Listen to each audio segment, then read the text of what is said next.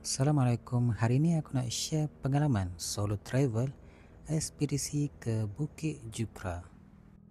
Disebabkan hari ini hujan pada awal pagi, aku keluar agak lewat sikit dalam pukul 8 lebih macam tu. Jadi macam biasa, jentera yang aku gunakan Benelli 302R. Jarak perjalanan daripada rumah aku lebih kurang dalam satu jam lah.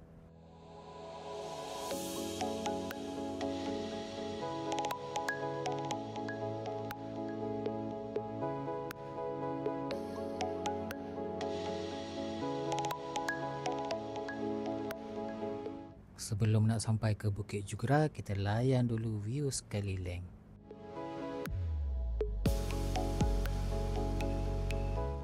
Okey, spot pertama kita boleh tengok daripada jauh puncak Bukit Jugra. Kat sini view dia memang sangat cantik.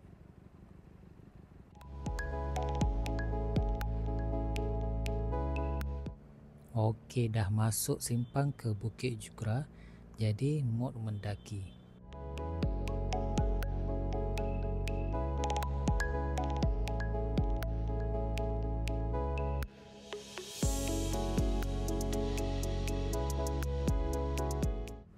Lebih kurang dalam pertengahan perjalanan boleh nampak satu spot yang menarik yang boleh dijadikan tempat bergambar.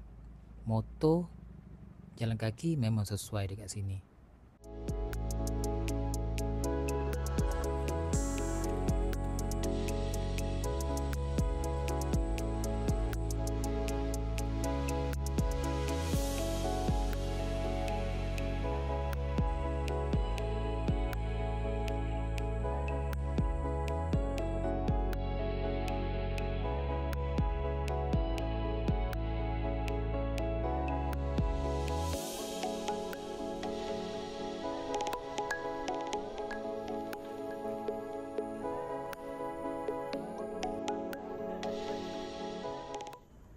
Okey, dah sampai ke puncak.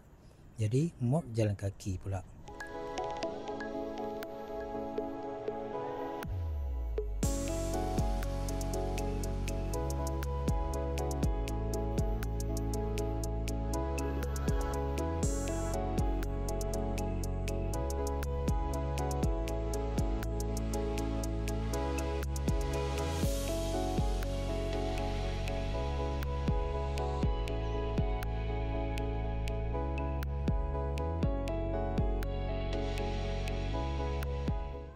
Atas ni dia punya view memang sangat cantik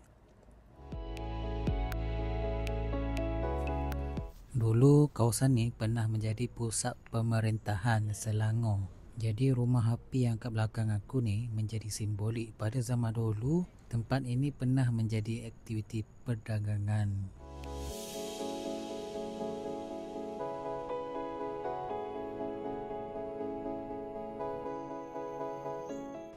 Lepas dah naik Bukit Jukra, kali ni aku pergi singgah ke Museum Bukit Jukra. Banyaklah sejarah-sejarah yang boleh kita tahu melalui museum ni. Sebenarnya, museum ini sendiri pun telah dibina di atas tapak balai polis lama ataupun dipanggil dulu rumah pasong. Yang mana di tempat inilah pesalah-pesalah dikenakan hukuman nak cerita detail pun aku tak pandai sangat. Jadi korang kenalah datang dekat sini. Rasai sendiri suasana dan cedok seberapa banyak ilmu sejarah dekat sini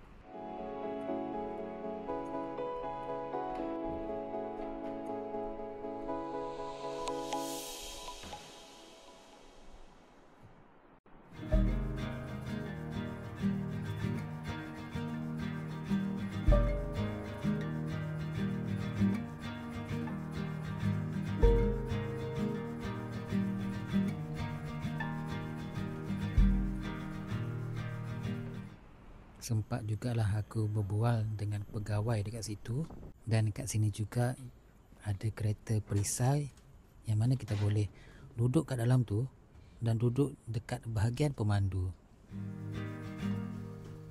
Thank you.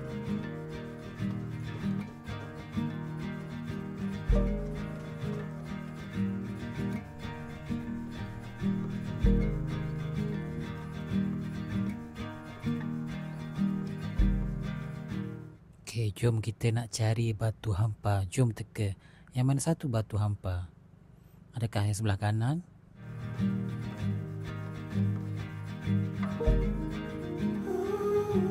Ataupun yang ini? Ha, sebenarnya tapak yang aku pijak inilah yang dipanggil tapak jeti pengkalan batu hampa. Tapak ini dibina dari zaman Sultan Abdul Samad.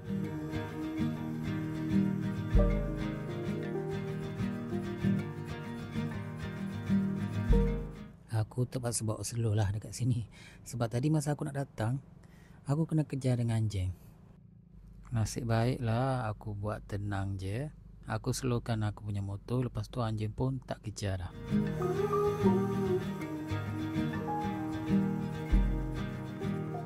Jadi tempat sejarah seterusnya ha, kat sini pergi lama.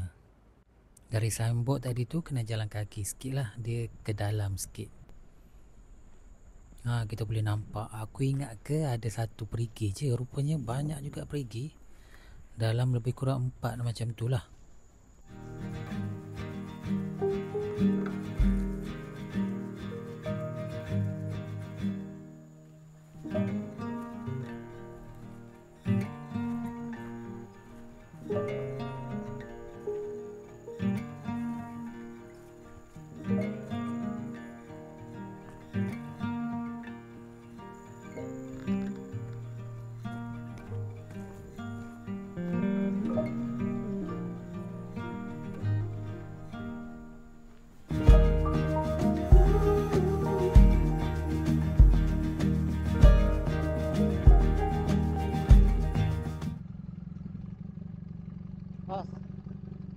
Tanya sikit, Pak.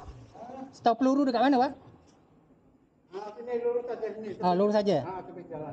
Okey, okey. Masih. Okey, masih. Cari punya cari tempat sejarah tadi Rupanya aku salah masuk jirat Cina dah Jadi inilah tempat sejarah seterusnya Stop peluru Yang ni dibina pada zaman British macam tu lah Jom kita tengok ada apa kat dalam ni Beginilah rupanya Stop peluru Kalau ikutkan kat depan tu ada pintu Tapi tak pastilah Bila dia tercabut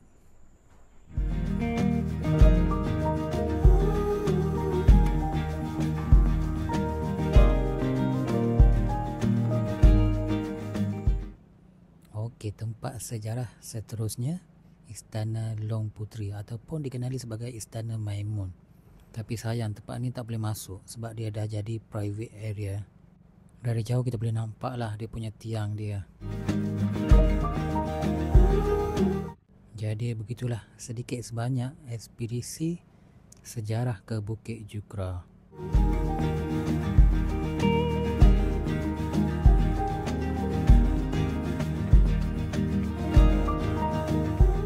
Sebelum nak balik, kita perkena cendol leleh. Rasa dia memang ngam-ngam. Yang ni owner kedai bagi tahulah. Kalau ikutkan banyak jenis cendol yang dibuat, tapi aku sempat makan yang basic je. Untuk cendol-cendol yang lain, macam cendol pulut, cendol durian akan diketengahkan nanti. Jadi sampai di sini saja episod pada kali ini. Terima kasih kerana menonton. Jangan lupa tekan subscribe dan tinggalkan komen.